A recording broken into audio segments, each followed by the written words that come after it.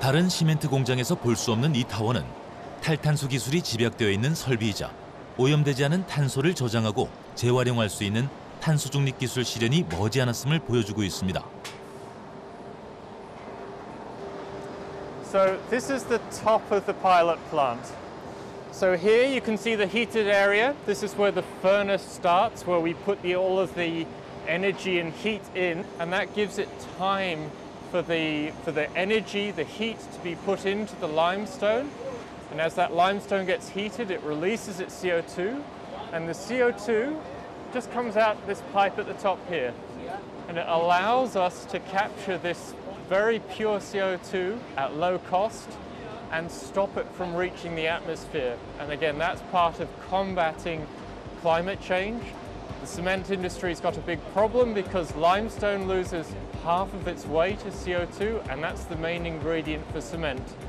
So in this process, we can capture that processed CO2, that CO2 released from the limestone, very easily and cheaply, and that uh, means that it doesn't go into the sky in the atmosphere. 이 시범 공장은 탄소를 발생시키는 연료 대신 수소나 재생에너지와 같은 무공해 연료 사용을 최종 목표로 삼고 있습니다.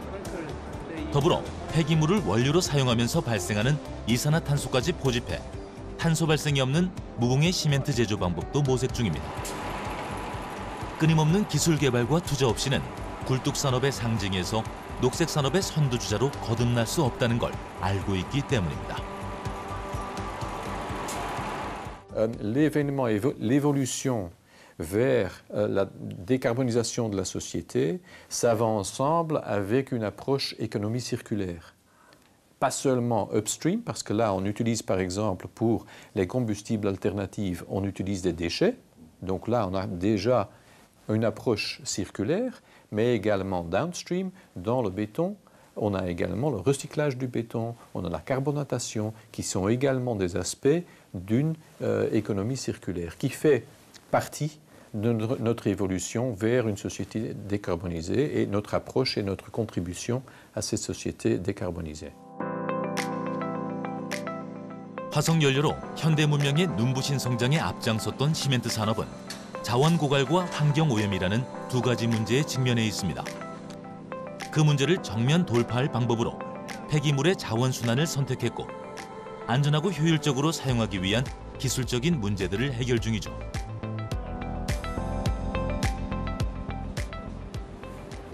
Donc ça, ce sont des, des terres polluées qui viennent de différents endroits.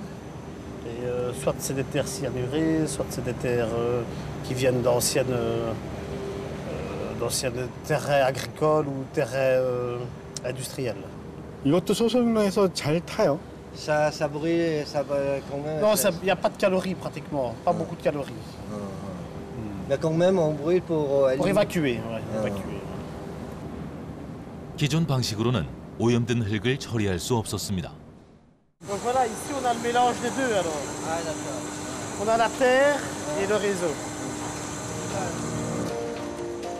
다양한 시도와 연구를 통해 90년대 2%에 불과했던 폐기물의 자원 순환율이 48%까지 올라간 유럽에서는 시멘트 공장의 소속노가 폐기물을 청소하는 역할을 담당하고 있습니다. 특히 폐기물 자원 순환 선진 국가로 자리매김하고 있는 벨기에는 엄격한 품질 관리와 지속적인 친환경 기술 개발, 대기 중 오염물질 배출의 철저한 관리 감독을 통해 시멘트 산업이 나아가야 할 모범을 제시하고 있습니다. En tout cas, on a, on a amélioré le système parce que des fois, on mettait 800 litres d'ammoniac et on n'avait pas assez pour descendre assez bas Ah, pour euh, ne pas avoir de dépassement. Maintenant, ils regardent sur 24 heures, ils regardent aussi euh, sur une heure. Enfin, il y a, des, des fois, on n'a pas le choix. Quand, euh, quand on démarre le four, par exemple, ben là, on met du charbon et du gaz, on, surchauffe, ça, ça, on ça, surchauffe pour pouvoir faire la claiquirisation dans le four. Et là, le NOx, il, il part, euh, il va où, évidemment Mais bon, c'est juste période de démarrage. Je, je pense que le- notre ingénieur signale à la région wallonne quand c'est comme ça qu'on a eu un démarrage. Donc voilà, on a 93, litres, 93 000 litres d'ammoniac là, donc la cuve est pleine.